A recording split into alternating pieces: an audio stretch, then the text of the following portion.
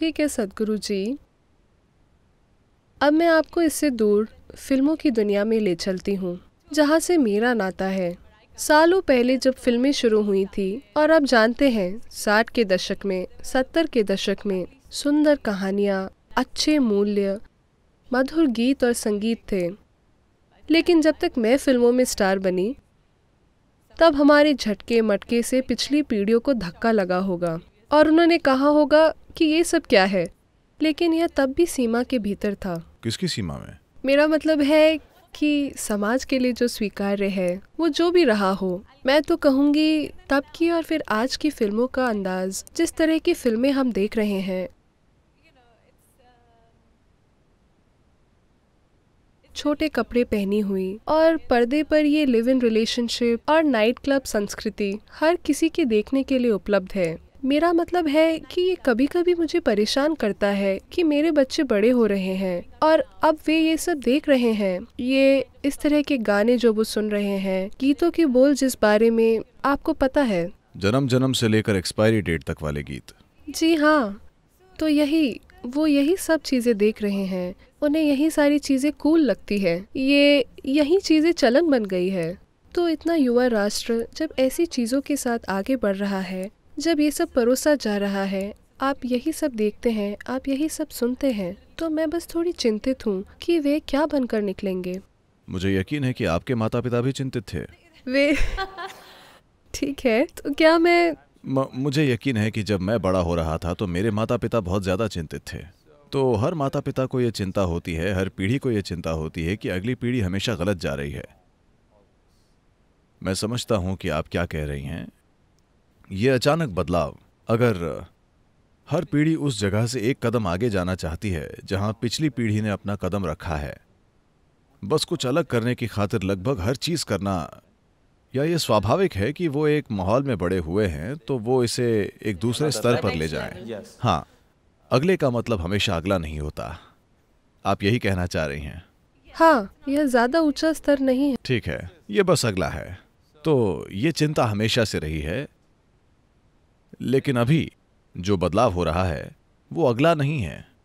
ये एक गंभीर असर है क्योंकि पिछले पंद्रह सालों में दुनिया भर में संस्कृतियों और सीमाओं के बीच संचार करने की क्षमता इतनी विशाल और इतनी अभूतपूर्व हो गई है कि इससे पहले कोई भी इस तरह के असर का आदि कभी नहीं था। ठीक है? हमारे युवा लोगों पर इस स्तर के असर इससे पहले कभी संभव नहीं थे। किसी भी दूसरी पीढ़ी ने कभी इतनी सारी दिशाओं से इस तरह के हमले का अनुभव नहीं किया, और यह असर बहुत बड़े पैमाने पर है। तो जो बदलाव हो रहे हैं, उनके संदर्भ में ये अगला स्तर नहीं है, ये बस कहीं और है, और कोई नहीं जानता ये कहाँ है, क्योंकि ये बहुत जटिल और बहुत उलझा हुआ है। कोई नहीं जानता कि ये कहाँ है, यहाँ तक कि युवा लोग भी। इसमें कई चीज़ें शामिल हैं। तो ये जानकारी और संचार के अचानक हमले के कारण हुआ है। ये हमारे तय करने के लिए नहीं है कि ये अच्छा है या बुरा। बात बस इतनी है कि निश्चित रूप से इस स्तर की जानकारी। जब मैं जानकारी कहता हूँ तो जब हम बड़े हो रहे थे मैं मानता हूँ कि ये आपकी पीढ़ी के लिए भी सच था। We never knew what is boredom, okay?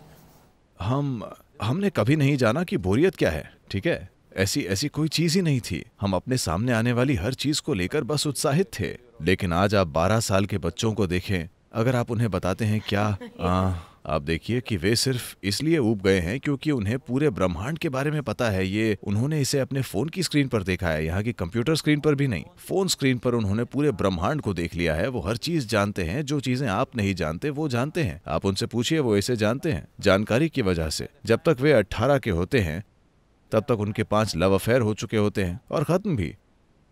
पश्चिमी दुनिया में ये वैसा ही है। अब यहाँ भी वैसा होने लगा है ठीक है? तो जब तक वे अट्ठारह के होते हैं तब तक वे हर चीज़ देख चुके होते हैं जो आपको अपने शरीर मन और भावनाओं के साथ देखने की ज़रूरत होती है ठीक है? जब तक वे पच्चीस के होंगे अब आगे क्या करें? आगे क्या? आप देखेंगे मेरी कामना नहीं है लेकिन ये मैं कह रहा हूँ, जिस तरह से लोगों के दिमाग काम कर रहे हैं, जिस तरह से वे जानकारी के साथ लादे जा रहे हैं, मैं किसी भी तरह से एक निराशावादी व्यक्ति नहीं हूँ। लेकिन मैं देख रहा हूँ कि अगर जानकारी का ये स्तर जारी रहा और आने वाली पीढ़ियों के लिए ये कई गुना बढ़ जाएगा तो आपको आश्चर्य नहीं होना चाहिए अगले 50 से 100 सालों में। अगर 50 प्रतिशत मानव आबादी आत्महत्या करना चुनती है तो आपको आश्चर्य नहीं होना चाहिए क्योंकि दिमाग के साथ यही होगा। कोई ताली बजा रहा है? देखिए ये लोकप्रिय है। नहीं आपने अभी अभी मर्म को छुआ है और ये नहीं मैं कह रहा हूँ आज दुनिया में जितने लोग अब लड़ाइयों हत्याओं और दुर्घटनाओं में मारे जाते हैं उससे कई ज़्यादा लोग आत्महत्या करते हैं। और अगर मानव मन पर जानकारी के हमले का ये स्तर जारी रहता है, मैं मन की प्रकृति को पूरी तरह से जानता हूँ, क्योंकि मैं अपने मन को जानता हूँ। मुझे पता है कि ये कैसे काम करता है, क्या संभाल सकता है, क्या नहीं कर सकता। मैं साफ़ तौर पर जानता हूँ कि मानव मन क्या है। यही कारण है कि मुझे लोगों की लिखी किताबों को पढ़ने की या उनकी पूरी बात सुनने की ज़रूरत नहीं पड़ती। अगर वे एक वाक्य बोलते हैं तो मैं जान जाता हूँ कि उनका मन क्या है, क्योंकि मैं मानव मन की संरचना को पूरी तरह से जानता हूँ, वरना मैं वो नहीं होता जो मैं हूँ। तो मैं ये कह रहा हूँ कि अगर सूचनाओं के हमले के स्तर की गति यही या इससे ज़्यादा रहती है तो अगले कुछ सालों में संभव है कि यह निश्चित रूप से खुद को खत्म करने की इच्छा की ओर ले जाएगी।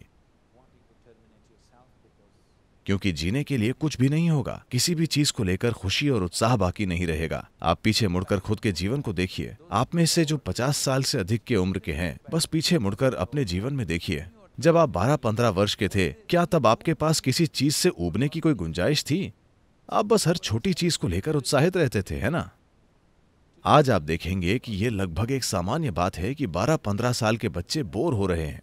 केवल एक चीज़ है। बिल्कुल सही। हाँ वे सभी आईपैड आईफोन पर हैं। वे गैजेट्स में लगे रहते हैं। क्योंकि हम प्रेम और जीवन के बारे में बात कर रहे हैं इस सब का कोई मतलब नहीं रहेगा।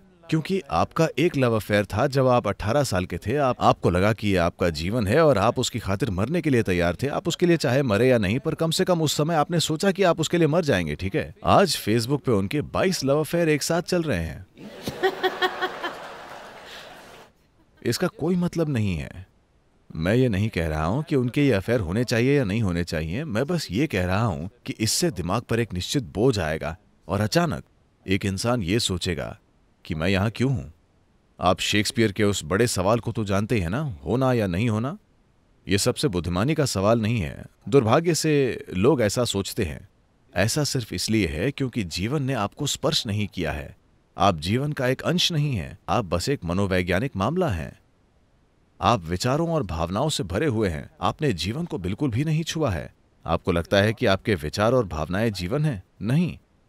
आपके विचार और भावनाएँ वो नाटक हैं जो आप अपने मन में पैदा कर रहे हैं। ये आपका सिनेमा है। आपको इसे कहीं ना कहीं पर खत्म करने के काबिल होना चाहिए। अगर आप नहीं जानते कि इसका दी एंड कैसे करें, तब ये एक अंतहीन सिनेमा साबित होगा, आप पागल हो जाएँगे। जीवन यहाँ घटित हो रहा है। जीवन वो नहीं है। आपका काम जीवन नहीं है, आपका परिवार जीवन नहीं है, आपका करियर जीवन नहीं है, आपका सिनेमा जीवन नहीं है, आपका विचार जीवन नहीं है, आपकी भावना जीवन नहीं है। Life is happening here everything else is accessories to life जीवन यहाँ घटित हो रहा है। बाकी सब कुछ जीवन का साजो सामान है। अब जीवन के तामझाम जीवन से भी बड़े बन चुके हैं। जीवन से आप पूरी तरह से चूक गए हैं। अगर आप अपने भीतर जीवन को स्पर्श करते हैं तो ये ऊर्जा का एक विस्फोट है। जब आपके साथ ऐसी चीज़ कभी नहीं होती, क्योंकि आपको अपने फ़ोन की स्क्रीन पर पूरे ब्रह्मांड की जानकारी है तो आपको जीवन कभी स्पर्श नहीं करेगा, क्योंकि बहुत अधिक जानकारी, बहुत ज़्यादा विचार, यहाँ तक की भावनाएँ भी सूख जा रही हैं। बहुत सारे विचार चल रहे हैं।